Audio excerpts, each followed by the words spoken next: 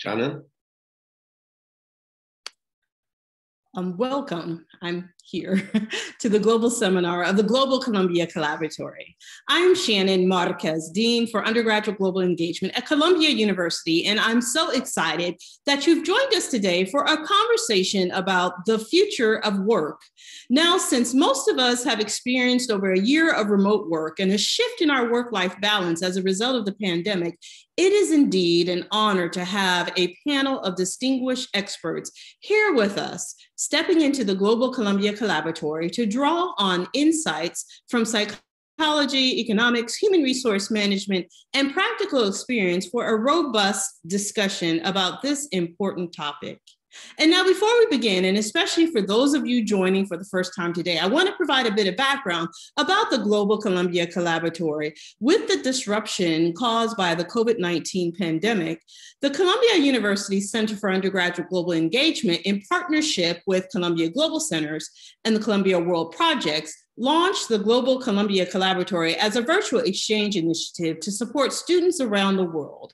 The collaboratory brings students, thought leaders, and educators together, promotes cross cultural communication, and enhances skills and global competence to allow students to reflect ideate, and collaborate to empower them to make a difference in the world. Students have participated from over 25 different countries and are drawn from all three undergraduate schools at Columbia, representing over 30 majors. And we also have students participate from dual degree programs with Sciences Po in Paris and Trinity College Dublin. Using smartphones and laptops to access the collaboratory virtual exchange platform, Students form a community of global thinkers and problem solvers through participation in themed global seminars featuring international speakers, such as our seminar today, as well as facilitated reflection, ideation, and collaboration activities. As learnings and perspectives are shared across the collaboratory, students are encouraged to collaborate to support the further development of ideas into projects that have the potential to address the most urgent challenges of our time.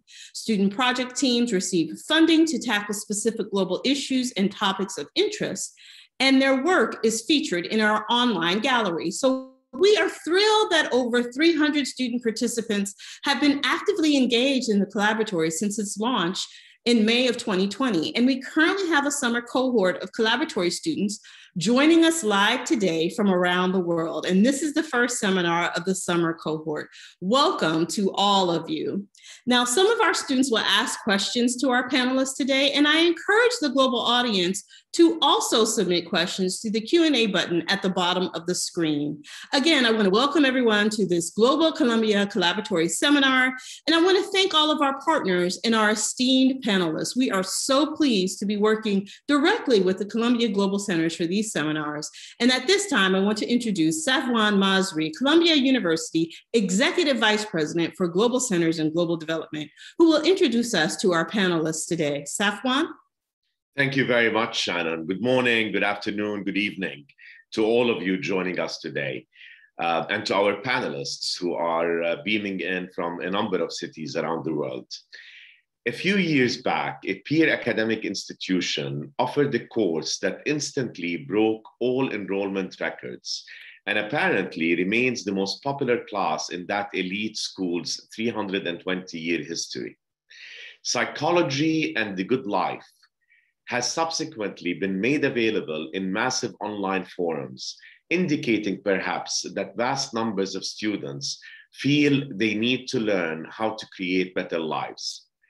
This is not necessarily what one might expect from accomplished young people who have matriculated at prestigious universities and seen the embodiment of success.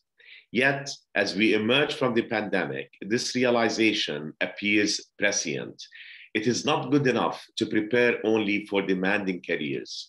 Fulfillment derives from a balanced life, which we have learned does not happen automatically.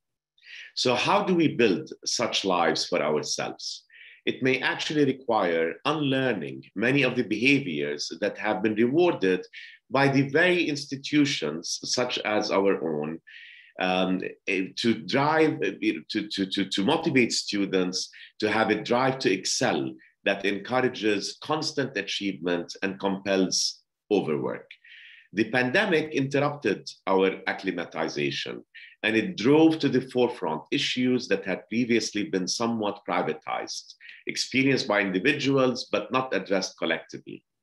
Now, with large percentages of the workforce unemployed, many from the same sectors that disproportionately suffered health consequences, and even more people experiencing anxiety, burnout, and toxic levels of stress, there is an opportunity perhaps to rethink both the structures and strictures of work.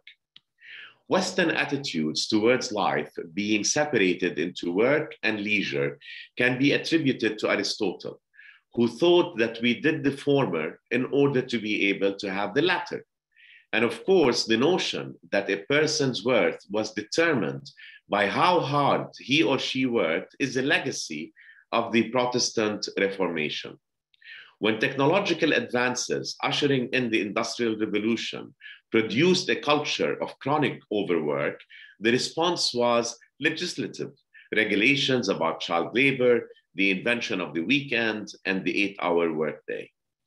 What are the solutions today when technology has erased any boundary between home and office or school?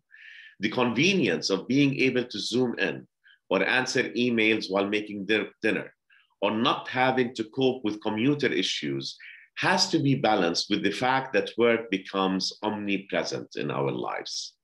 There is abundant personal advice on how to manage Go exterior, get up and away from the phone or the computer, go for a walk, notice the world, or the opposite, go interior, disconnect from everything and meditate. Some are suggesting a different kind of withdrawal from the corporate world entirely and into more creative pursuits, less remunerative, but with greater control or more non financial rewards. All of these scenarios underscore a fundamental reality what we do for work defines us and largely shapes our identity.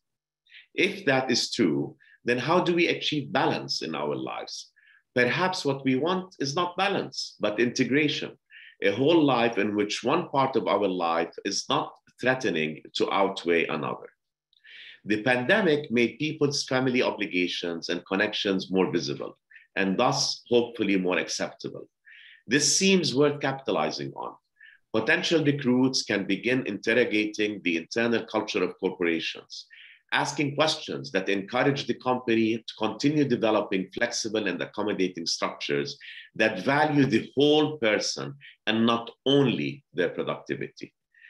The biggest lesson of the pandemic may be that flexibility and the ability to shift in order to accommodate a constantly changing reality is essential for a culture to survive. Can we make this an essential value of corporate culture? To help us answer these questions and many others, we have with us four extraordinary scholars and practitioners. I will introduce each one at a time with a question addressed to them. After the panelists have each answered the first question, we will pivot to a more informal interactive conversation and then Q&A from our collaboratory students and our global audience which Shannon Marquez will moderate. I will begin with Dr. Cindy Pace. Dr. Pace is Vice President, Global Chief Diversity and Inclusion Officer at MetLife. She is an adjunct professor of organizational leadership at Columbia School of Professional Studies, where she teaches courses on inclusive leadership and leading cross cultural global organizations. Cindy is also a guest lecturer in the Women's Leadership Network program at Columbia's Global Center in Rio de Janeiro. Prior to MetLife, Cindy worked for Pfizer in various corporate management and global leadership roles, including in clinical research, diversity, and executive leadership development. As a leadership scholar practitioner, Dr. Pace's research and practice center on advancing diverse women and professionals in business leadership. Dr. Pace received her master's degree from New York University and her PhD from Teachers College at Columbia University. Welcome, Cindy. It's really great to have you with us. I'd like to start by asking for your thoughts on what's being referred to as the burnout crisis. Do you think burnout is experienced differently among culturally diverse populations by race, gender, or ethnicity within the United States and perhaps more globally. And if you can comment, Cindy, on this burnout syndrome and how it has been perhaps exacerbated um, during the pandemic, because it certainly did exist before the pandemic. So over to you, Cindy. Uh, need to un unmute, Cindy, please.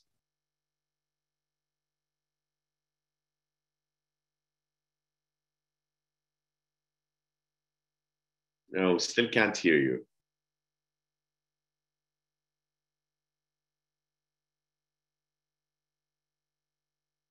Okay, um, Cindy seems to be having audio issues.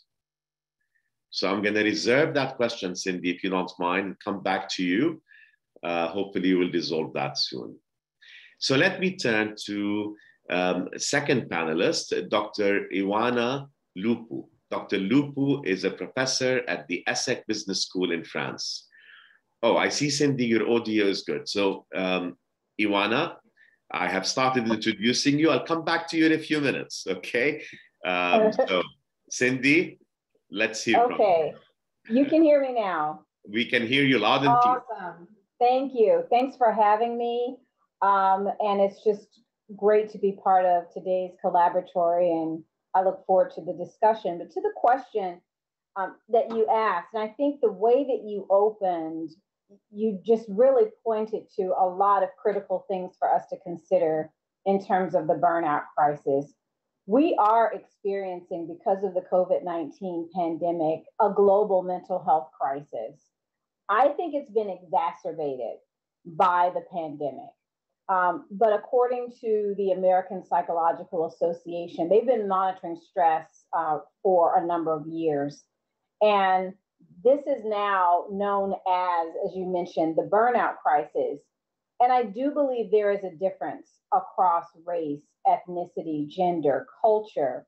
Um, the 24 hour, always on extreme work culture that we have experienced within this past year has actually brought the invisible into the visible, especially with our lives. What was once maybe behind the curtain, you didn't really see everything about us, became front and center, as you mentioned, um, with Zoom. And I think this is stressful in a number of ways. When you think about our differences, there's a huge role that socioeconomics plays in that. And so, to what degree can you cover your background, right? So, you know, people are looking into your homes. They may be making decisions about um, who you are, what you do, the things that are on your wall, the things that we choose to pull in view. There is a lot of stress of actually having to present ourselves in a certain way to continue to come across professional. And I think we still don't know to what extent the effects this has affected our well-being, uh, perhaps our even our happiness, and arguably our performance. For women and people of color and people from different cultural backgrounds, there there has existing always been a question of trust, um, authenticity, and what level of vulnerability can you operate across? What's the spectrum? And I think now, as we go into this whatever we're calling it, the future of work, where we have these hybrid models or certain people will be able to work from home, people are questioning is this going to have an impact on my career? And I think that constant concern brings across a lot of anxiety and stress in terms of um, do I actually have a choice? So I know we'll talk more, but one of the things I want to say in closing here is this is why the role of equity becomes so important. Because for people to operate at their best, we need to understand what those conditions are, especially through the dimensions of diversity. And the role of equity is going to be paramount because people need to have what they need to thrive and be successful. So, corporates, um, academic institutions, we really have to look for work models that provide a sense of choice and control for our employees and also for our students, um, which is more germane for today. Thank you, Cindy. Thank you. And I want to come back to the issue of equity because I think that's really, really important. And, um, you know, we can talk about sort of how do we ensure that we have um, a just and equitable work environment. Um, so now um, back uh, to you, um, Ioana, Dr. Ioana Lupu, uh, who's a professor at the ESSEC Business School in France. Uh, prior to joining ESSEC, Dr. Lupu was a lecturer in management control at Queen Mary University in London. And she was a Marie Curie Senior Research Fellow at Cass Business School Center for the Study of Professional Service Firms. She's the author of Carrière de Femme, Identité, Socialisation et Vie familiale dans les cabinets d'audit et d'expertise uh, basically speaking about women's careers, their identity, socialization, and the family in the audit um, and, and uh, management control uh, sector of the economy. Dr. Lupu received her PhD in management control from the Conservatoire National des Arts et Métiers and her Master's of Science in Decision and Management Control from the Academy of Economic Studies in Bucharest. Um, the pandemic brought work-life balance issues front and center to every workforce sector and to every level of work, from entry level to senior executives. What's the responsibility of institutions? So building off what Cindy has shared with us about the importance of addressing the burnout challenge. Uh, the question to you is, where do institutions fit into this? What is their role? Um, what is their responsibility to workers in terms of preventing burnout?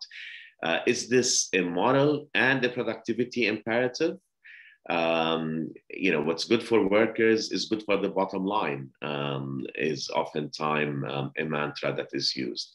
And if that is true, how can institutions and workers make sure this is part of the culture and that workers take advantage of what is offered. Hi, everybody, and thank you, Safwan, for this invitation and uh, for, for this question. Um, I, I, have been studying knowledge workers, um, such as auditors, consultants, lawyers, for the last 10 years or so. And this is the population that I know well, and thus my answers will focus uh, on my research findings uh, related to this population. Um, so this is admittedly um, relatively privileged population because of generally having the resources to deal uh, with uh, housework and childcare, for instance. However, um, the recent surveys and recent research show that this population uh, reported increased levels of stress and burnout, uh, and particularly uh, women, especially women in um, senior roles, were shown uh, to be um, significantly more impacted by this uh, always on culture uh, with um, uh, reports, for instance, uh, uh, showing that senior women women are um, 1.5 times more likely than senior men to think about downshifting uh, their role or leaving the workforce um, because of COVID-19. Almost three in four cite burnout as a main reason for this. So, so we see that uh, this current crisis uh, has had um, uh, a significant impact on, on this population. And work-life balance, I think it is a, co a, complex issue which requires a complex multi-level response, uh, especially, in, I think, in this time of crisis. And it is undoubtedly, uh, undoubtedly uh, a moral and the productivity or business case, as, as companies often put it, uh, uh imperative. Uh, and companies start, uh, I think, increasingly to recognize and accept both of these of these sides. Whereas years ago, when I started my research, um, many companies were uh, advancing uh, this business case. So, so, yes, we want to promote uh, um, women or we want to promote work-life balance because uh, that's a pos that's positive for the bottom line. I think that now increasingly I see uh, companies taking up this moral case. So we want to promote well-being because it is the right uh, thing to do. And us uh, as employers have a responsibility towards uh, the organ our, our employees. Uh, and uh, the need, so they recognize the need to create a culture which is nurturing and empowering, uh, which allows uh, for flexible, uh, flexible work arrangements. Um, and, I also all, all, also see how um, companies have been uh, uh, struggling to get away from this pervasive culture of presenteeism. now, um, culture, and it's been recognized in, in in research, it's something that is very difficult to, to, to change. It's very difficult. Um, it's something that, you know, it takes years to create and then it's, it's very difficult uh, uh, to alter. Uh, but I think, you know, what there's something that it's, I think it's important to understand. Uh, and, and I, in my research, I, this is something that I, um, uh, that I, I I, you know, I try to make clear. Uh, it, it's that um, culture is something that it, it is alive. It's created uh, by individuals and and then uh, it, it, shapes also in, and influences individuals uh, in actions. And one thing that I found that it works quite well uh, as an approach um, to, to, to change culture it's it's uh, to um, to construct a management uh, um, an organizational uh, control system uh, which um, aligns employees behaviors with organizational objectives. Because uh, if organiza an organizational espouses really the, these objectives of promoting work-life balance then um, uh, what I mean, the best way to um, to make sure that uh, this is really um, uh, that we see uh, this really um, um, that there is this is something that uh, appears, you know, uh, it's um, in in um, daily practices. It it is to uh, align um, um, practices, uh, as I was saying, control practices such as recruitment, uh, performance evaluation, socialization, um, remuneration with these objectives. So have uh, really uh, key performance indicators that, that uh, monitor the progress of managers towards these objectives. It's only when this is integrated in the management control, such KPIs are integrated in the management control system that we can see change coming, uh, uh, coming about. Otherwise, uh, if we continue um, um, if we, otherwise it's it's really what we measure is what we get i mean if you measure people uh, by bringing in uh, new business or by working um, uh, which if you um, reward the people who work um, very long hours, then this is the courage, uh, this is what you encourage as, a, as an organization. So, so it is uh, really important from my point of view to um, to align uh, strategy and with the uh, the organizational control practices in order to uh, see change. Yeah. So fascinating. Okay, so so you're tying in the, the metrics that are used to measure productivity with the uh, policies, if you will, that the institution puts in place. Um, but you know, any institution can claim, right, that it does that. Um, and so your work is really focused on um, the the way to measure whether it actually does that or not, if I understand it correctly. Um, but let me just follow up with a question, um, which is the question sometimes is whether the institution and individual work environments support employees actually taking advantage of what the institution is offering in terms of work-life balance. Um, you know, in other words, what's the point of having the benefits uh, for the employees, which are related to productivity, which is important for the institution? Uh, you know, what's the point of that if the employees don't actually use them? So, do you look at that part of the dynamic? Um, do you look at sort of you know what the individuals do or do not do to take advantage?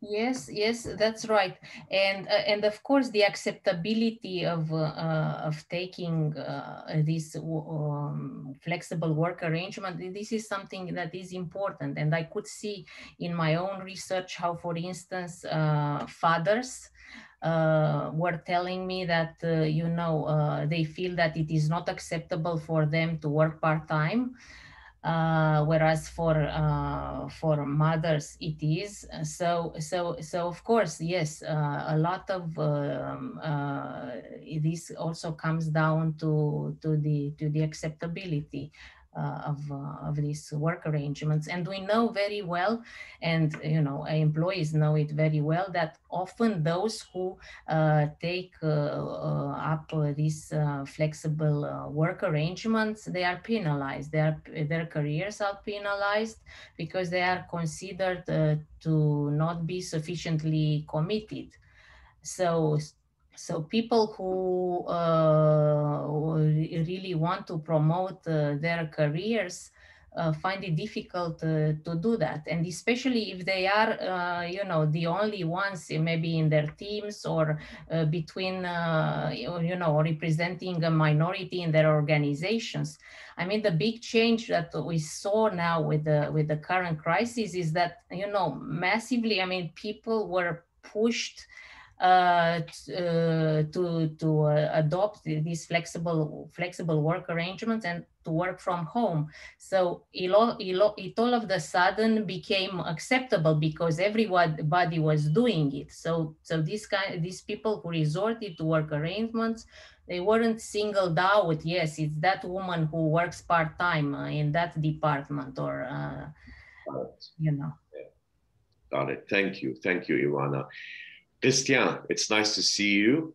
Uh, Christian Vanizette uh, is an Obama scholar, co-founder of MakeSense.org, uh, which is a global network of 100,000 citizens and entrepreneurs committed to solving social and environmental issues. Make Sense citizens support 3,200 local initiatives tackling the United Nations Sustainable Development Goals in 100 cities and 45 countries around the world. Christian served, received his bachelor's and master's degrees in business innovation from the Kedge Business School in France. And in 2016, he was named one of Forbes' top 30 social entrepreneurs under 30 in Europe. He is also a member of the French government's Digital Council and an advisory board member of the Bill and Melinda Gates Foundation's Goalkeeper Initiative. Christian, I think you also join us from Paris, where Ioana is. Um, so um, nice to see you. Can you speak to the younger generation, since you are one of the uh, top 30, under 30, according to Forbes, Forbes Social Entrepreneurs? Um, what are the younger generation's expectations of career and work-life balance and how that is similar to or different from what older generations expected? And, you know, some of our students might also be wondering how the pandemic might have impacted in the long run those who graduated into a pandemic workforce without first having had the chance to experience a normal work environment. So over to you, Christian. Yes. Hello, everyone. It's nice to see you, Safwan, and to be again with the Columbia University community. Um, so uh, I'm Christian. I come from Tahiti, French Polynesia. It's a really small uh, island in the middle of the Pacific, but right now I'm in France. I don't know if I can speak the whole of the, the young generations because it's becoming really diverse from 18 to 35 with uh, but uh, what I've seen uh, on the platform that we have with Make Sense, where we have 100,000 citizens uh, using our programs uh, every week across the world, is and, and, the conferences I've been doing in some universities, I try to do one conference per week during the, the different lockdowns to really take the pulse of the student, is that whether you have diplomas, uh, good degrees or not, uh, there's a lot of stress and anxiety about the future. First, it was the stress and anxiety from young generation about uh, I don't see my uh, my colleagues, I don't go to classes anymore, everything is on Zoom, so there's kind of losing the social link, I can't party. But now there's the anxiety of what is going to be the economic crisis like? Will I be able to get a job? Uh, will I be able to network to be able to get a job if I still have to get on Zoom and if there's variants and then we can't go back to life as normal? So there's a lot of stress and anxiety I could feel, especially from students who are about to graduate. And we've seen that a lot in our programs. A lot of them are, are doing volunteering so that they can meet with people and, and try to, but it's, it's kind of uh, really uh, uh strong and it doesn't matter if you have diplomas or not. And then the second big change uh, I'm seeing is that there's a lot of the younger generation who has degrees and diploma of good universities like Columbia, for example, or ESSEC in France, uh, are asking themselves more and more, uh, what is, uh, why are they working? Is it only to have their paycheck, to develop their career? but what is the meaning and the purpose behind their job? And it's especially strong in the engineer uh, sector, especially in France.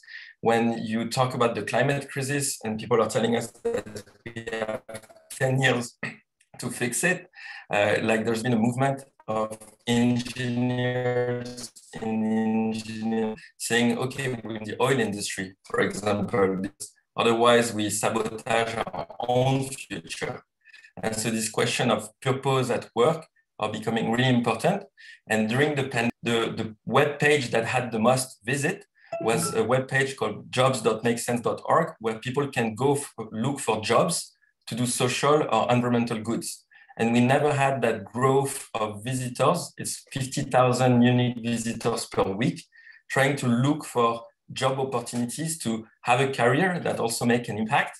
Uh, and so we've been approached by Le Monde newspaper to do a series of articles about this new generation of people with good degrees looking for more purpose in their career. So I think there's something happening that, that's uh, at the same time uh, uh, inspiring because it also makes corporates have to change if they want to attract those talents in the companies. And so I think this is really good news uh, on social and environmental issues.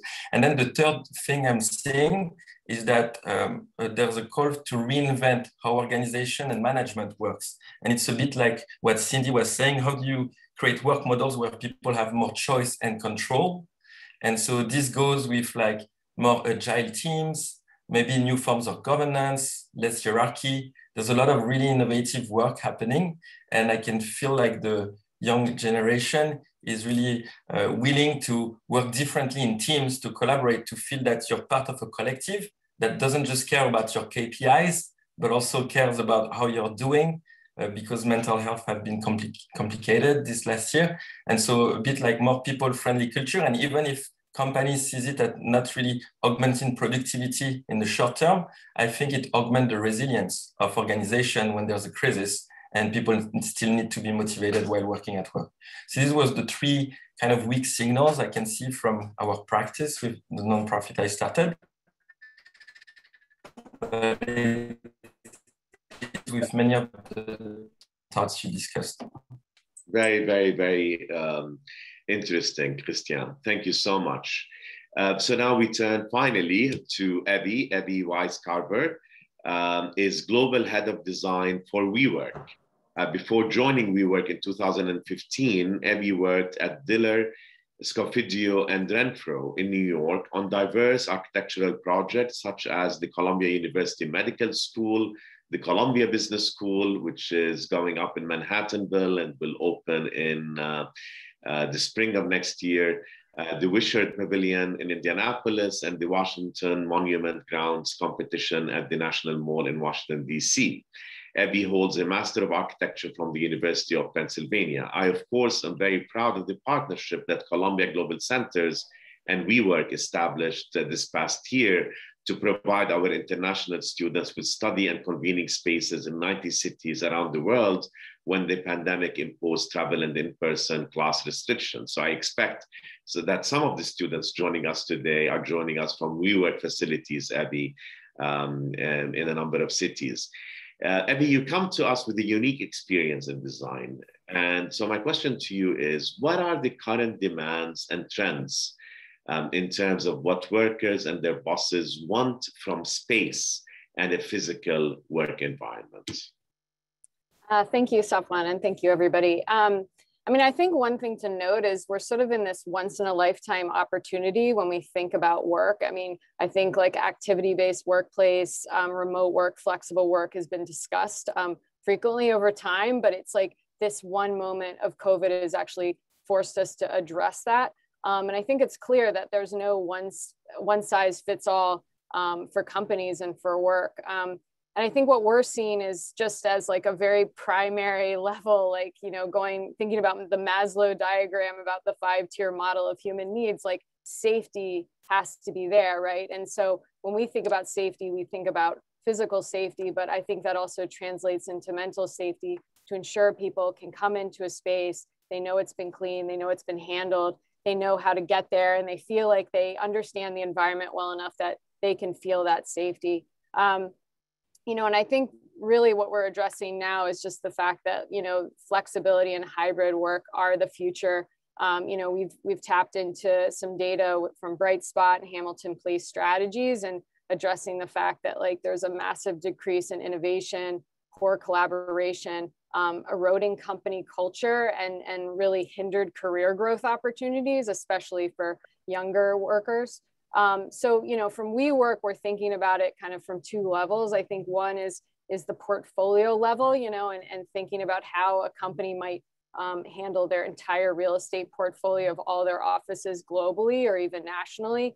Um, and you know, the former model is, you know, how do people go to work? You go to an HQ, you go to the central space, and now, you know, it's really about decentralizing that and thinking about there's actually three places to work potentially or more. You know, you can work from home, you work from a local office, maybe a co-working facility, or you go into that central office and, you know, flex work policies, you know, are going to become the new normal. Um, and, and, you know, and a great example of that is, is Coinbase, who we worked with, where they moved away from their San Francisco HQ and now have taken up more, um, you know, satellite offices with us and spreading people around and giving them that flexibility. Um, and then the other is really thinking about the office solution. So once we sort of establish a portfolio strategy, like how are people using the office? I mean, you know, in the past, it's sort of you come in, it's a sea of desks, it's all about focus work.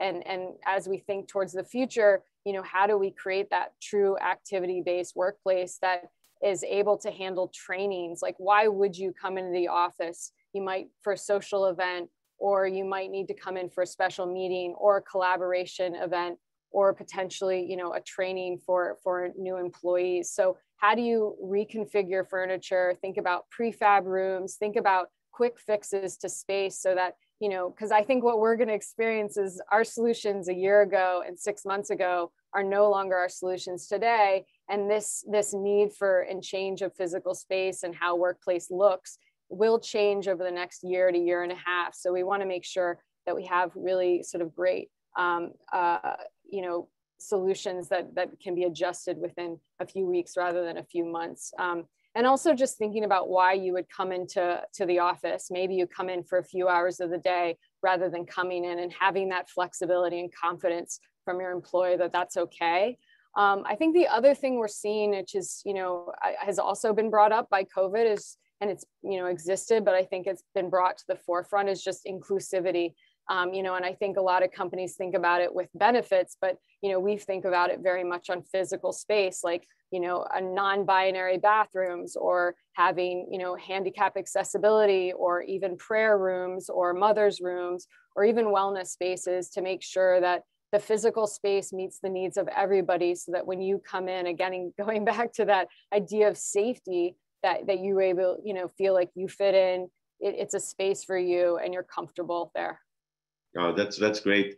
And i think abby i mean you know one of the things that even predated the pandemic is that you create a lot of uh, you know sort of home feeling spaces. Yeah.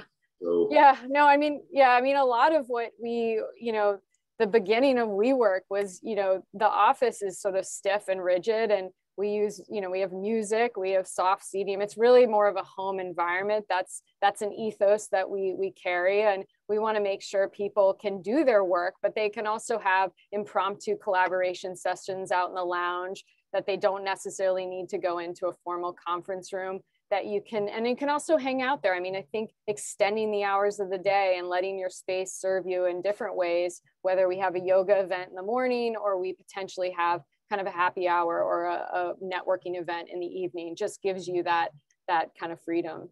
Yeah. No i love it. And our students have loved that. And i should say to the audience that um, the the you know WeWork afforded our students 24 7 uh, access, um, which was really important, especially for our East Asian students um, who make up a considerable um, uh, sort of a proportion of our international students. And with time zone differences, um, I would get an email from a student in Shanghai who would say, uh, I'm at WeWork and it's 2 a.m. in the morning, um, her time. Um, and I think, you know, Abby, just before we, we, we move on, um, one of the things that happened with the pandemic is that the lines between home and office became blurry, right? Yes. And so, uh, what you're offering is an opportunity for me um, to be at work, but still be in a home environment, but be outside of my home so that, you know, at least when I'm at my home, I'm not working all the time. Yeah, no, it's interesting because I was on a, I, I moderated a, a health and wellness panel that at, at the WeWork Summit, and you know, it's interesting. There were, you know, a couple of the people on the panel are saying, you know, people actually get around the block and come back to their home just so they can feel this delineation from work. And I think what we're trying to offer is we have locations everywhere. So maybe you're not going in, you know, for me, I'm, i live in Brooklyn. I don't need to go into Manhattan. I can actually use our locations in, in Brooklyn and get a smaller space. So I, I'm not, um, you know, I'm not complicating my my my um, commute to work. I, I don't have to deal with all the stresses. I could make it home in 15 minutes, you know, but I can still sort of separate because I do think this blur of, of, of work life. I mean, it, it's, it's one of the biggest problems I think we all experience at the very beginning of just seeing how much one could work during the day. And, you know, I think being able to physically separate yourself um, is, is huge. That's terrific. That's terrific. I think uh, you know what's what your you know your vision, the vision of WeWork may have been uh, prescient for the time that we're coming into. So sort of you return, you retain some of the best uh, that you got during the pandemic, but you also shed some of the worst um, yeah. blurring of the lines. Thank you, um, Abby. Cindy, I want to come back to you, and I want to come back on the issue of equity.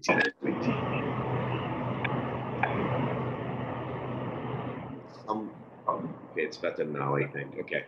Um, and the question of how do we ensure that the new work world uh, is fair, just, and equitable for everybody. But I want to focus here on women, right?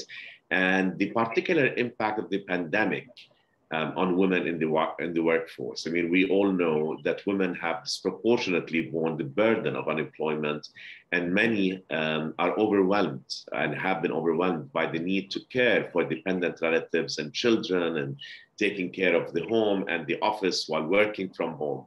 Uh, was this impact on women in the workforce a blip, you think, or does it set back the march toward gender equality in the workplace, or maybe does it accelerate um, the the the march um, the march forward? So, if you can take all of that, Cindy, and unpack it, it'll be terrific. I will I will start off to say it all depends, because what I think we're in is a knowing, a saying, and a doing gap we've heard from everyone here, all the experts here, what we know, what the research is showing us.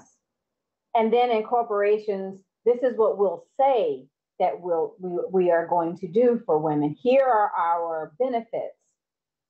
But then what we actually do, there may be gaps in between all of those things. I think when you look at women, we can't look at women as a monolith, and we have to look at the intersectionality. Um, while, you know, as Ioana talked about the impact uh, on senior women, there are degrees, there, there are levels of uh, leadership management within an organization. And so, how someone would navigate at entry level versus uh, to the point that Ioana made, and someone at senior at a senior level, and the resources available has disparities. And so I think what we'll what we're finding is um, it's going to come down to the organizations that really put their money where their mouth is and really walk the talk. And so if we say, as Abby talked about, if we say that we are creating these inclusive environments um, where people get the access to what they need, I think what's required now is to understand the intersectionality and the generational differences that women have. And the needs are different when you are maybe 23, 33, 43, 53, and 63. And so a one size fits all approach to trying to support women in the workplace is not going to work. Um, but what I, what I will say in terms of it all depends is this ability to have truly more choice and control over your work life can be, in theory, a good thing. Mm. But it's how it's going to be executed. Because if I say we are hybrid workplace, um, you know, as Christian talked about, come here and find purpose in your work, but it's not really true, then women are always going to be questioning should I be at home? Should I be at work? Or should I be somewhere else that requires more of my energy and time? So I think what's important is work has to matter. Mm. And the things that women are working on, they have to care about. And the organization has to care about it as well. So this um, integration of values is going to become extremely important the workplace culture cannot continue to operate off of unwritten rules. If we say this is the environment that's going to work for everyone, it has to be that environment. Um, and so, what I find that we're going to have to really get ready for is I do think women are going to leave or have already left. Mm. I don't, I think that's inevitable. But my thing is, how do we get them back? Mm. And can we start thinking now innovatively of ways to onboard women back? There are just times in your life you're not going to be able to do everything at the same time. But wouldn't it be great to know that you were part of an organization that thought of you, kept in touch with you, helped you continue to stay on top of your skills, and then helped you navigate back into the workplace, whether it's back to that employer or a future employer? So I think that's what's going to become extremely important, especially for women of color who have been disproportionately um, impacted by the COVID 19 pandemic in terms of loss, in terms of trying to navigate, you know, as we've talked about this 24 hour culture. Not that other people didn't, but if you're navigating COVID because people in your family and your community are being um, impacted and you are dealing with death and loss, it's very different in how you show up at work every day than someone who their COVID situation is just really a case of now I'm at home, I'm not in the office. Yeah. So I think really understanding all of those differences, and I think Ioana talked about this. This is what we're measurement and really getting feedback from employees is going to be important. We can't assume what they want. We we have to ask what do you need? And we have to be willing to make adjustments. So I know that was a, a, a lot to unpack, but it does come down to it all depends on where you work. And that's what's going to be quite interesting the yeah. disparities of what organizations will be able to do in terms of meeting the needs of women. But you know, as I'm listening to you, Cindy, I just want to make this observation. As I'm listening to you, I'm further convinced, not that I ever needed to be further convinced, that uh-huh. this is why we need more women leaders. Uh, yes. Because of that, uh, you know, ability to sort of, you know, go out, ask employees what is it that they want, be sensitive to all of these issues. Uh, requires, um, I think, uh, you know, more women in leadership positions and hopefully more women of color in leadership positions um, who can also be sensitive to the uh, specific issues and challenges uh, that are more daunting, I think, for um, uh, for Black and, and and brown women. So you know what? Um, just to, to add to that, I think the time is now that the you know the call to action on more diversity in leadership is going to get louder and louder. But you just talked about the business case for why it is important um, for us to have more diversity of thought, diversity of backgrounds, attributes, and experiences, because we are coming up against very challenging times that will require a different type of leadership. And right. we cannot do things the way that we've always done them. And so I think as organizations open themselves up to more diversity. And that means you need diversity in the pipeline, right? Because leaders don't just pop up, they're developed. And so we have to develop those leaders early at every level. Um, it's an exciting time and it's it's actually a little, you know, it's like daunting on how are we going to to handle all of this. But I think when we unlock, as Abby talked about, the ability to have more collaboration and innovation, um, the work that Christian is doing. Let's get people involved in solving the adaptive challenges of our time. And I think that's where we're going to start to see um, yeah. movement. Yeah. Thank you, Cindy. Thank you. Ioana, I want to come back to you and talk about, you know, the future in terms of standards, right? It's something that you look at and you study. And you know, when, when, you think about it, each era of work, at least over the past couple of centuries, has brought with it new normal standards of what is acceptable, right? Establishment of weekends, to child labor laws, to accommodations for disability, to what Cindy has been talking about um, in terms of inclusion and in terms of uh, equity.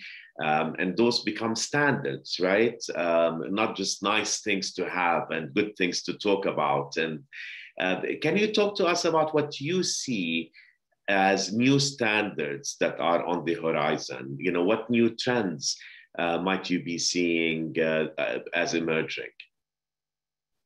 I think one, uh, you know, a new standard um, that it's emerging, you know, very strongly, and uh, all of the previous uh, speakers have talked about it, is flexible working and hybrid working. But let's not forget that this wouldn't be possible uh, without um, uh, trends, underlying trends such as digitalization, in increasing uh, use of um, data analytics, big data, virtual work. So this already pervades all the, the work aspects. And while um, uh, I see that flexibility is in high demand, we have to make sure, I think, that flexibility uh, does not only serve the needs of the employers, uh, I have seen this to be the case in the past when flexibility initiatives uh, were hijacked and ended up making uh, employees uh, available all the time. Uh, um, I've seen um, how um, in, in implicit expectations from an employer that uh, the employee is always contactable can trigger feelings of anxiety and I've also seen how the impact of the always on culture can often um, go unaccounted for or disguised as a benefit, you know, increased convenience, increased autonomy, um, and uh, control over work-life boundaries. But uh, with the, the reverse of the coin, um, being that uh, these flexible work boundaries can and do in fact often turn into work without boundaries, compromising um, an employee's um, uh, health and uh, also their um, having a negative impact on, over um, their family life. So we, uh, in my research, I often talk about this as, you know, um, an autonomy paradox. So yeah. you increase people's autonomy, Uh, so they have increased autonomy. They work from home. They theoretically they can work uh, well, whenever they choose. Uh, uh, but this in the end ends up uh, decreasing their autonomy because in fact they uh, end up working all the time uh, and so there is um, a lot less um, respite I guess. And and re so related to uh, to this trend, uh, which we've seen, uh, more flexibility, increased autonomy. Um, I've seen during this last uh, year uh, of conducting conducting interviews, what is emerging is um, a closer, I think, management of employees. Um, and, and this happens, you know, through different means, uh, more frequent meetings, uh, more frequent um, evaluations, um, and also uh, an increased, I think, uh, transparency of uh, and an increased scrutiny of people's uh, actions and behavior. Uh, because now, as many things happen through the mediation of, of technology, uh, what uh, all these uh, uh, work activities leave a digital trace, right? Uh, meetings can be recorded, managers uh, can see if the employees are online, offline, and how much of the time they are online, um, how many times they consult or access different different documents. So, so, so all these um, can um, can things to look forward to can have negative consequences yes yeah. so so it is important i think we are at, uh, at some kind of crossroads where things can as, as cindy was i think saying one of the arguments that she was making things can uh, you know improve but we uh, things can also go a, a, lot worse. And you know this is one of my fears uh, that uh, uh, that good positive initiatives uh, can be hijacked and can serve finally the interest of the of the organization and not the that of the of the um, of the employees. Which is which is sad because um, ultimately it does hurt the organization um, but oftentimes organizations don't necessarily look at it that way i do yeah, sorry. I, I, I, do want to turn it to, to Shannon and to the questions, but um, I'll be remiss if I didn't ask um, just you know very quick questions to uh, uh, both. Uh, so, Abby, um, let's talk about the global, right? I mean, so I think WeWork has sites in in almost 100 cities around the world. So you have a global perspective on this. And one of the things that one thinks about when one thinks of the nature of work and homework balance is that historically the united states has taken pride in being the no vacation nation right while france where Ioana and Christian currently are, sometimes I tease my French colleagues and friends and say, How do you have such a strong economy in good times uh, when you don't work nearly as much as, as, as we do? uh, which is unfair. I mean, and I say that only teasingly. Uh, France mandates 30 days of paid vacation. August is shut down in France. Um, and that's true also in other countries. Um, why is the US like that? And do you see that changing? And while still thinking about the global, we've seen what seems sometimes a uniquely American problem um, of mental health issues related to work and overwork uh, for working you know very long and very hard um, you know it, it, seems to be greater than it is in other countries. Is that true? I mean do you have any comments on that? Do you think that that's related to um, how um, labor regulations perhaps are in some european countries just for example compared to the united states? Yeah so i, I mean i i've actually uh, lived in Tokyo and, and Shanghai, so and also in Sydney. So I have a bit of a perspective on uh, you know how those countries behaved. I mean, I, I certainly think that um, you know in a place like Japan where things are quite regulated and they really want to ensure that they impre- like protect their employees. I wouldn't say the U.S. has as those same sort of regulations.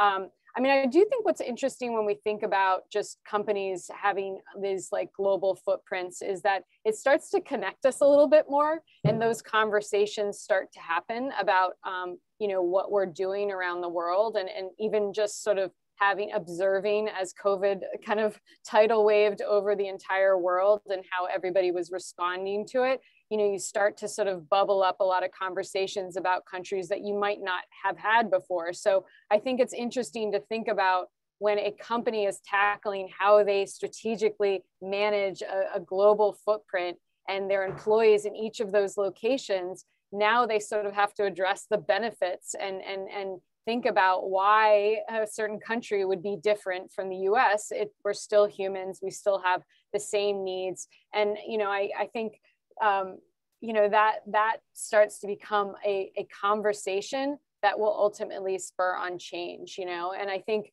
i think that is really the benefit of, of having this sort of work conversation at, at a much higher level um, rather than just hey this is a us centric problem. Because i think if we stay in that dialogue we're never actually going to, to make progress because we're not really engaging with our partners around the world to really understand why they put those regulations in place. Why did they want to sort of enforce, uh, you know, enforce uh, vacation? But I certainly would say here, you know, just just this, you know, we were um, on this panel. I, I I moderated. An interesting point is the physical challenges of COVID are so easy to tackle. This sort of mental and and and sort of um, ongoing effects around mental health are, sort of our next pandemic to, to manage. And I think um, with that, a lot of these conversations around downtime, how do we use technology to, to create space for ourselves, not just for work, um, is, is definitely going to come up more and more. Well said, well said. And I think um, the fact that we've become you know, despite the wishes of, uh, you know, at least the former um, uh, president of this country and, and, and others who are polarized around the world, we are living in a very global uh, society. And so somebody like you who has worked and lived in other parts of the world, uh, uh, you know, as we have greater labor mobility, I think uh, there will be um, more room, I think, for, for influence and change. Christian, I want to end with you, and I'm going to ask you to answer me very quickly before I turn it over to Shannon. Let me ask you, you know, sort of your perspective also dealing with the youth um, you know, when you think back to the Gilded Age of the early 1900s, the early plutocrats, I mean, think John D. Rockefeller, took pride in not working after earning their fortunes. So you worked until you earned their fortune, your fortunes, and then you retired. You see a lot of people on Wall Street who retire in their early 40s, uh, for example. Um, but today, you also see, depending on the sector and the industry, uh, the wealthiest amongst us work even more than others and longer hours, enduring greater stress. Why do you think that is? And do you think that is likely to change with the upcoming uh, generation? So I'm sorry to give you very little time, but, but uh, we need to move on. Thanks. Yeah, I just wanted to say that uh, in our COVID response program, uh, we also say like women have suffered a lot from the pandemic on the workplace, but they made 70% of our volunteers. So it's really interesting because they also solve problems more than, than men's. And so it's really crazy, to see like this, uh, that, yeah, I want more women leaders too. I just wanted to say that. Uh, and from my experience, uh, I think it's really uh, I can't talk like uh, there's all these like uh, billionaires like Elon Musk and he tweets how much he works and all of that and it's great. But what I see is more like uh, uh, young people who make fortunes in the tech world. They make money so early that then uh, if they retire they have nothing to do for most of their life and so what i what i see but maybe i'm biased because they come to see us is they look for more purpose and and basically they make a fortune and now they want to make the world a better place and so they want to spend their life doing it. And maybe the example of what uh, bill and melinda gates did or like this kind of generation with the giving pledge is showing that you can become the richest man on earth but then it doesn't make you necessarily fulfilled. You need to do other things after. So i see this more and uh, yeah that's good news too. Good. Thank you christian. Thank you. Uh, shannon over to you. Thank you to the students for being patient and uh, please take it. Thanks, Safwan. So we are excited to have some questions from our students, and then we'll also get to questions from the general global audience. Our first student question is from Noel Files, who's joining us today. Noel, if you can turn on your camera and introduce yourself and ask your question to the panel. Welcome. Hi, I'm Noel Files. I am a junior at Columbia GS. Uh, I'm studying political science and I am hailing from Texas right now. So um, I think that's all the data you wanted, um, introduction there. Um, so my question, and in large part, you all have really tackled it and it's been really great. I've been writing notes.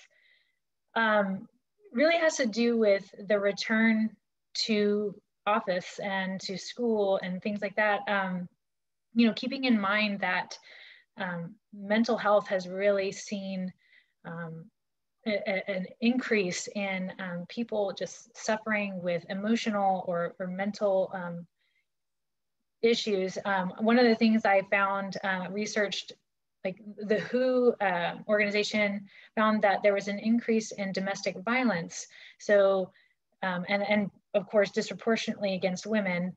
When we think about asking people to return to work, whether it's a hybrid or a fully in-person um, situation, just um, thinking about setting up structures or providing um, counsel or, or just sort of like a reintroduction, like how do we provide a soft landing for people who have really suffered um, under the constraints of working from home, be it because they have children, they're trying to manage children that can no longer go to school or daycare, um, or they have a spouse that's um, abusive or whatever the case may be, and they're just trying to continue to stay a viable part of the workspace, um, but they're coming back in sort of shattered or ragged, so to speak.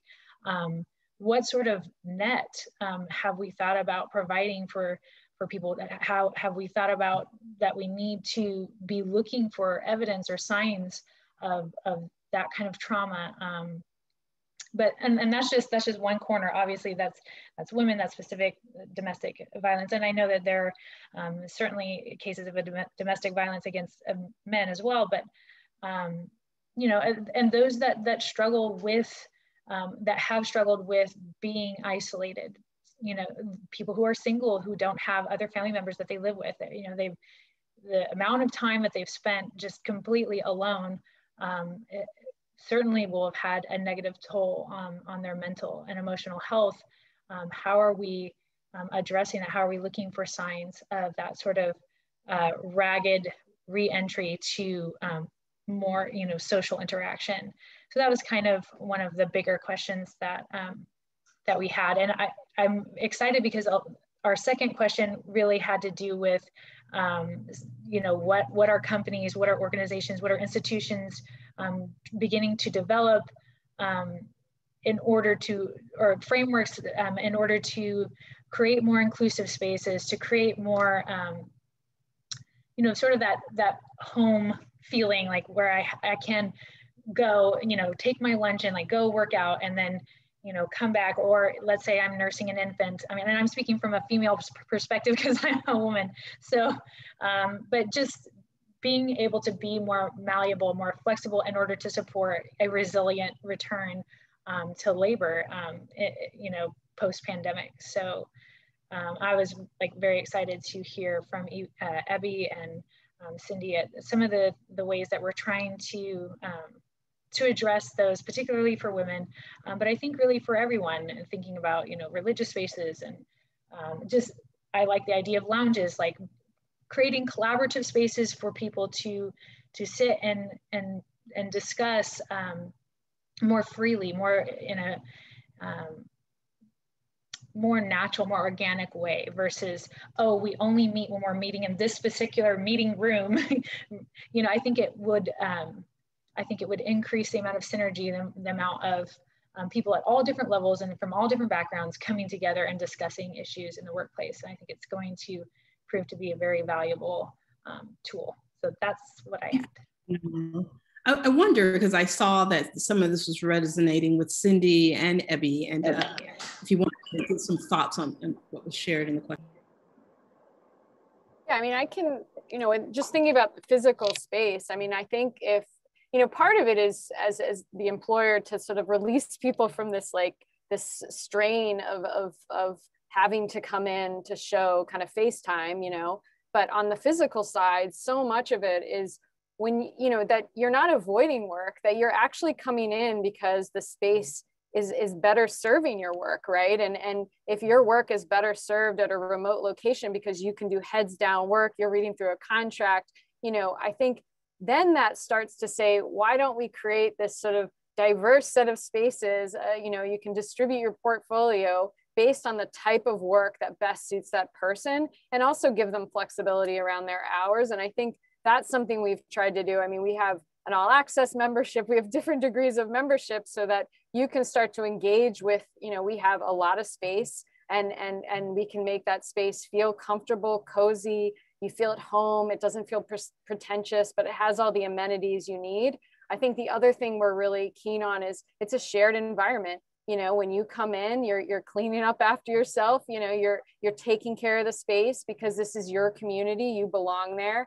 And i think that also so reinforces this thing of like we trust each other. We're here. We're safe. This is a good environment. We feel like we can we're equals. Um, but i definitely think if we can start to pivot the idea of coming into a space that best serves the work that i'm doing there'll be no question that people will always come in when they when they need to do that work rather than this suspicion that people are avoiding work or are you know not not working you know? Cindy, any other thoughts you wanted to yeah, just to add to that, um, on, on, the question you had about domestic violence, um, abuse, I think, you know, one of the things that we might not have talked about as much is how the workplace served as this embassy, if you will. Um, when you're here, there's a level of safety. Uh, maybe you know there are levels of trust that we're trying to build, and oftentimes the amount of time we spend with our coworkers, they become extended parts of our family. But when people are dealing with mental health issues, there's a degree of covering um, because we are trying to present our best selves. So, you know, would I really tell you what's happening in my home life? And so, this is where I think a collaboratory is going to take place with um, not just corporations, but mental health institutions, with cities, provinces, um, to say, how do we come together and deal with this mental health crisis?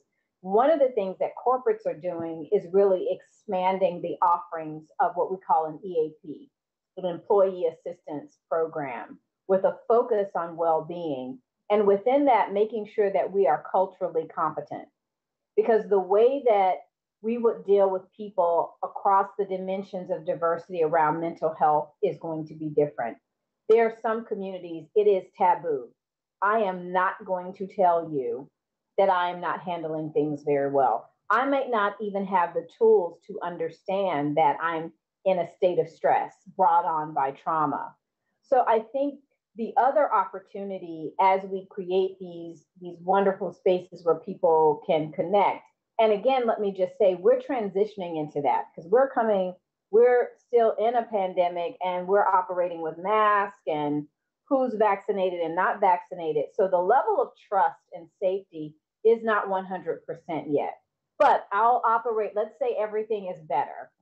Um, creating spaces where people can have conversation with their peers really around how they are doing not just the work product, not just let's solve this issue together, but how are you doing? And to what Abby does uh, with WeWork, uh, creating these um, opportunities for people to do yoga together, to talk about meditation, to introduce people to mindfulness techniques. That is what I'm seeing going to be on the rise. And I think back to leadership, what we talked about earlier, leaders that check in with their employees, their direct reports around their mental health. And so, this walking the talk, being a mindful leader, is going to be being a purpose driven leader. That's going to make the difference between can I tell you what's really happening in my life um, and how do I navigate that? So I hope that that answered your question. Um, I do think that EAPs are doing a good job on offering benefits that deal with um, a variety of issues that people face in the home front. So more to come on that. Thank, Thank you, you so very much. much. And thanks to you, Noel. So our next question is a video recorded question from Omar in Kuwait. And so let me pull the question up here.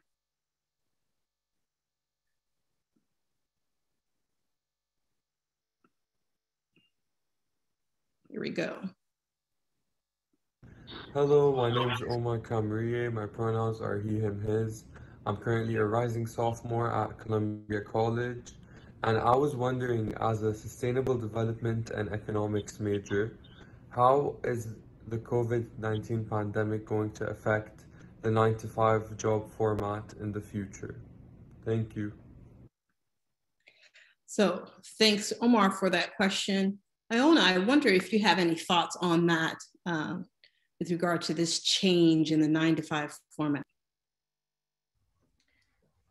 Uh, I, well, I would say, uh, uh, speaking for my, uh, again, from the point of view of uh, knowledge workers, which I've uh, been studying, I think this format was already something that was obsolete, um, you know, a long time, that became obsolete a long time ago. And um, and I and I think you know going forward, we are obviously, as we discussed until now, heading towards uh, uh, a lot more flexibility in terms of time, in term in terms of also of, of space, and um, and uh, this is all enabled by by technology. And so I think one important uh, challenge um, going forward is how do we uh, regulate um, the use of technology because the problem as cindy was saying is not with the technology itself but the way it is uh, it is used and and uh, moreover re, uh, related to the the, the question um, of nine to five hours most of the people i interviewed were telling me that this is absolutely not what they are looking for a nine nine to five job.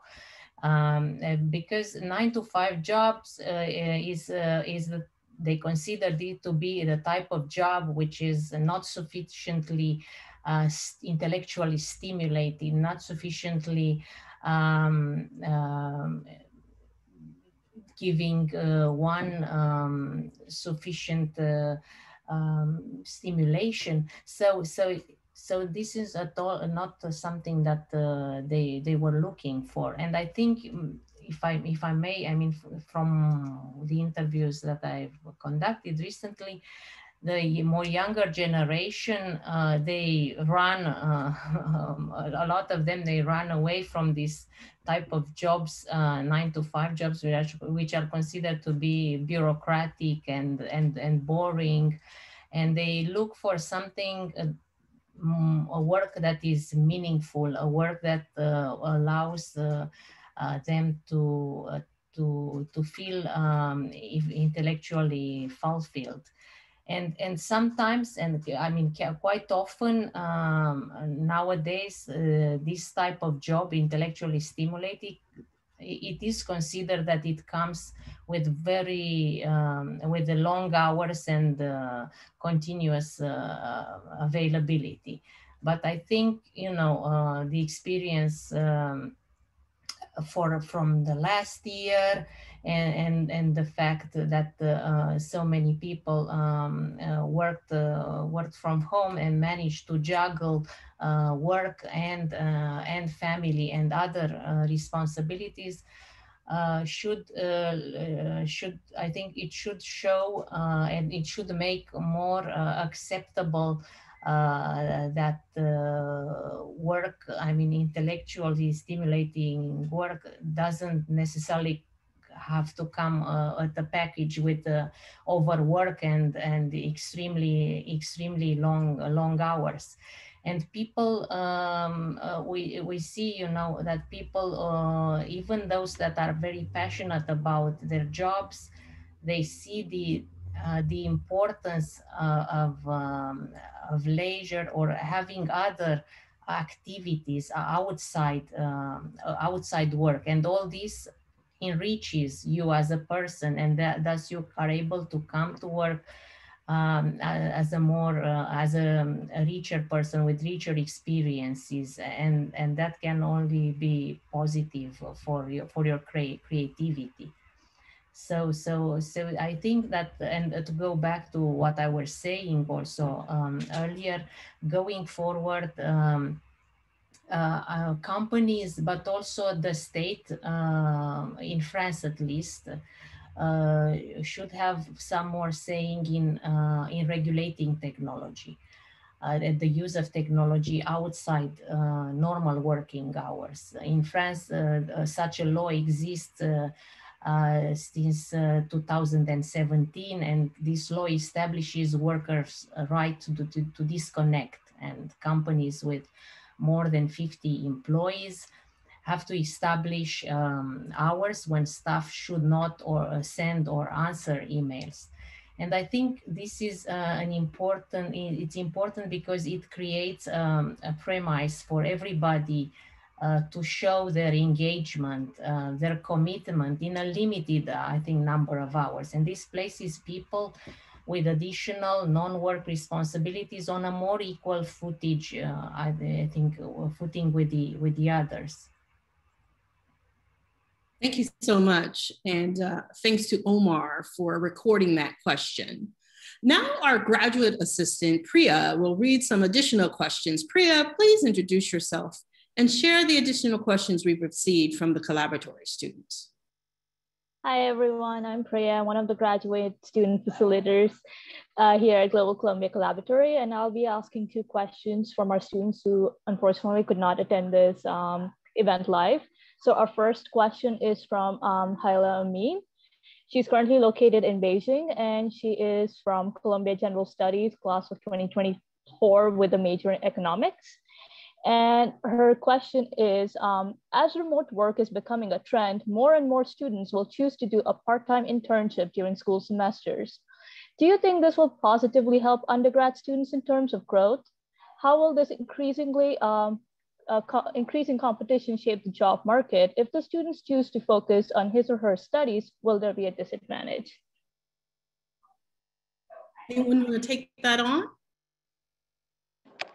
I, I would like to just make a comment around that. One of the things that actually happened with COVID 19 last year is companies wanted to keep their commitments to students who they had offered internships. But the question was how do you have a meaningful internship in a remote way? Because it's usually you come on site. That's that's what you get. You get a chance to be in a corporate workspace, observe how people work, and um, we just decided because we didn't have all the answers, let's do it.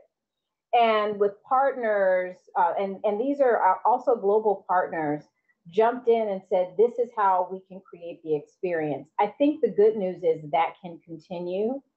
However, I would say that the model can expand. I was just on a call last week, and the discussion around apprenticeship and the importance of apprenticeship, which is different from an internship. So I think the ways that students can start to learn and build skills will evolve. And we can rethink this um, an internship being this either paid or non paid gig where you get the coffee, because we know that some of the internships, you're like the glorified um, administrative assistant there. And really look at how we can create experiences for students in a remote way where learning is happening. And then um, augment those experiences with maybe things that are happening locally. So it's not always you have to go directly to that site. Maybe you can, um, we partner with WeWork and we find out ways that students can get involved in a different way. So I think for us to actually have the workforce of the future with the skills that we need, we have to rethink what our um, our response and the way that we plan and deliver internships. Thank you. Priya, I know there's one more question. Thank you so much, Cindy. My next question is from Nicholas DiConstanzo. He is a Columbia General Studies student from the class of 2023 with a major in visual arts. And his question is, do you think it is a good idea for institutions to continue using remote work and school systems developed during the pandemic after the pandemic is over? Why or why not? You want to take that on? Abby, having thoughts on that? Yeah, no, I mean, I think um, I think we have to, you know, I think in order to really meet people where they are, I mean, I think we have to continue to support this part of the workplace as much as we need to be able to provide, um, you know, safe physical space um, and amenities that serve people because everyone's going to have a varying degree of comfort. Um, and, you know, I even, you know, see people that report into me the, the varying needs and, and having challenge for so many employers is they don't actually have the toolkit to, res- to respond to those. So if we're able to create that sort of the, that flexibility and get the technology there, get the platforms there, get the sort of, you know, in our case, a working, co-working, you know, space and, and accessibility to spaces near their homes, you know, ultimately then it becomes just a conversation and, and, and, and, and building that with each employee and, and how, uh, and how to be as flexible and as, you know, compassionate as possible. Thank you. And just to quickly add to that, Shannon, I think um, one of the things that we didn't have a chance to talk about, but maybe we come back together um, or in some format and we can have a longer discussion on it. But this has also raised the disparities of access. So when we talk about accessibility, you know, we've heard a lot about the digital divide. And so when we're thinking about access to education, I think this is also something where corporations and institutions have to come together for cities and the environments that we, we're in to really be viable and that we have access to Wi Fi and that um, we have access to the tools. You know, there were many students are missing, like they don't know what happened in terms of them not being able to plug in, maybe only not having access to a laptop so I think this is an opportunity for us to say, we will not leave anyone behind. We will make sure that um, we are equipping our communities with what they need. And that gets back to our conversations on equity. So we have to continue with these hybrid models, but I think we also have the issues of accessibility must be addressed. And I think we have the resources to do it. It's just actually doing it. Thank you so much, Cindy. And, and thanks to Priya for sharing those questions. You know, we could go on and on for a number, another hour, and we've received questions from the global audience that many of which were answered during our discussion. I've in truly enjoyed this engaging discussion about one of the most pressing concerns in the world today, the future of work. We've talked about the impact of the pandemic to work-life balance, collaboration and innovation, the implications for diversity, equity, and inclusion, the call for action for women and more diversity in leadership, and to reimagine our workspaces in the future in terms of standards and best practices. And as I mentioned earlier, this is the first seminar of the Summer Global Columbia Collaboratory, a virtual exchange platform that brings Columbia students and thought leaders and educators together. We're looking forward to our next collaboratory seminar, so please keep an eye out for the announcement. I want to remind Columbia undergrads, uh, students joining us today that we'll also be collecting additional applications beginning for the fall cohort. And thanks again to the four esteemed panelists who joined us today, Cindy, Abby, Ioana, and Christian. Many thanks to the team at the Columbia Global Centers, Columbia World Projects, Columbia College, and the Center for Undergraduate Global Engagement. And of course, we want to extend a very special thank you to our amazing collaboratory students, partners, and participants from around the world. I want to hand off to Safwan for some final remarks and a reminder to everyone that a link to the recording of the full webinar will be sent to everyone who registered and for others you'll be able to find it on our website. So thank you and be well. Safwan? Thank you, Shannon. Thank you. I mean, this has been amazing, really. Um, you each brought um, incredibly insightful and valuable perspectives. I mean, when one thinks about the future of work, uh, you know, work-life balance, I mean, some of those ideas, some of those themes might seem very obvious, but they're not. I mean, you know, they're so layered and they're so complex, and there is such a uh, a powerful dynamic among um, the various issues uh, that uh, come up when one talks about the future of work. Um, so I'm very, very grateful to the uh, four of you and really to the perspectives and experiences that you brought um, to bear on this discussion. The um, students, you know, uh, Noel and, and, and Priya for the questions that you brought from other students who really um, remarkable. And I apologize to our other audience members that we didn't get to their questions, although, as uh, Shannon has noted, many of those questions I think were inadvertently addressed uh, by, the, uh, by the panelists. Um, we could have another discussion on this, and I think we should have another discussion on this. I mean, just if you take the issue of equity and justice, I mean, um, in the workplace, that alone deserves um, its own uh, discussion, as do many of the themes that we discussed today. Um, so I feel enriched, and I think everybody here uh, does as well. And I think, uh, you know, believe that no good deed goes unpunished. So I hope uh, that all of you will uh, expect that we will call on you um, again and again uh, to participate in various programs. But uh, um, Cindy, I look forward to maybe meeting you on campus when we're back. Maybe I'll even audit one of your classes. I have a lot to learn. And Abby, uh, next time I'm at WeWork, um, we have to make a point of uh, getting together. You really um, are a source of um, intellectual heft, I think, you know, to the senior team at, uh, at WeWork. So thank you for that. And Ioana, everything I had heard from Severine and other uh, members of the staff of our global center in Paris, um, you know, I see uh, the power of your thoughts and the power of ideas uh, that you bring to the table. And Christian, uh, keep up uh, the great work, um, really, and connecting with younger uh, citizens of the world. And uh, we look forward to great accomplishments by you in the in the years to come. you can tell I don't want to let go. I don't want to end this, but I have to end it because we are over time. So just my deep appreciation to all of you, and certainly to my partner um, Shannon and for all her staff in uh, undergraduate um, global education. Goodbye. Bye.